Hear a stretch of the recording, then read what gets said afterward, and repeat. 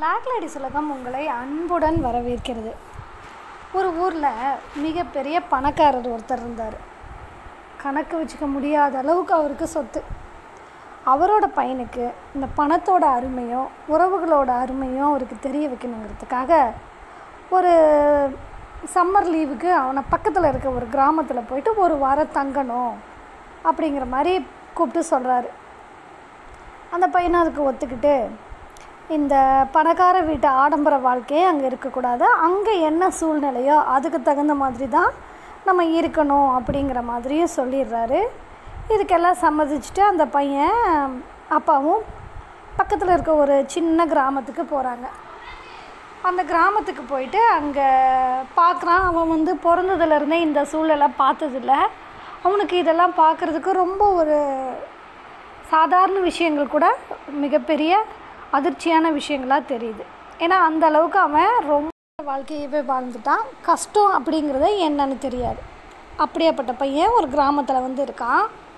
இப்போ பார்த்தீங்கன்னா அந்த கிராமத்தோட உணவு பழக்கம் அங்கே அவங்க இருக்கக்கூடிய அந்த வாழ்க்கை முறை இதெல்லாம் பார்த்துட்டு அவனுக்கு கற்றுக்கிறது என்ன அப்படின்னு அவங்க அப்பா வந்து ஒரு வாரம் கழித்து கூப்பிட்டு கேட்குறாரு அப்போ அவன் சொல்கிறான் நம்ம பார்த்திங்கன்னா வீட்டுக்குள்ளே ஸ்விம்மிங் ஃபூல் கட்டி வச்சுருக்கோம்.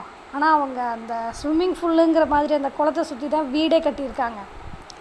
அதே மாதிரி பார்த்திங்கன்னா நமக்கு பாதுகாப்புக்கு ஏகப்பட்ட செக்யூரிட்டிஸ் நம்ம வீட்டுக்கு வச்சுருக்கோம். ஆனால் அங்கே அக்கம் பக்கத்தில் இருக்கிறவங்க தான் அந்த ஊருக்கு ஒரு வீட்டுக்கு அந்த ஊரே செக்யூரிட்டியாக இருக்குது அதே மாதிரி நம்ம நைட் எஃபெக்ட் வரணுங்கிறதுக்காக நம்மளுடைய ரூஃபில் ஸ்டார்ஸு அந்த மாதிரிலாம் ஸ்டிக்கர்ஸை வாங்கி ஒட்டியிருக்கோம். அவங்க வீட்டுக்கு வெளியே கைத்துக்கட்டில் எடுத்து போட்டு இயற்கையாகவே வானத்தை பார்த்து ரசிச்சுக்கிட்டு இருக்கிறாங்க. நம்ம எவ்வளோ உணவு வந்து ஒருத்தருக்காக அதிகமாக சமைச்சு வேஸ்ட் பண்ணுறோம் அதை அதிகப்படியான அந்த கொழுப்பை கரைக்க எக்ஸசைஸ் அப்படின்னு நிறைய செய்கிறோம். ஆனால் அவங்க பார்த்திங்கன்னா கிடைக்கிறது கஞ்சியோ கூழோ குடிச்சிட்டு மனதார வாழ்ந்துட்டு நிம்மதியாக தூங்கி எந்தவித நோய் நொடியின்றி ஆரோக்கியமாக இருக்காங்க.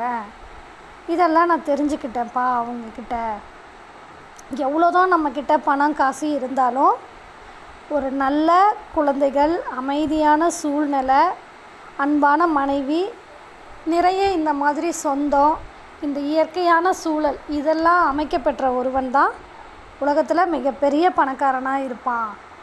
மன நிம்மதியும் அமைதியும் சந்தோஷமும் தான் ஒருத்தனுக்கு நிலையான சொத்துக்களாக இருக்கும். நோயற்ற வாழ்வு குறைவற்ற செல்வமாக அவங்க அங்கே வாழ்ந்துட்டுருக்காங்க அவங்க தான் நம்மளை விட மிக சிறந்த பணக்காரங்க அப்படிங்கிறத இந்த பயணத்தின் மூலமாக நான் தெரிஞ்சுக்கிட்டேன்.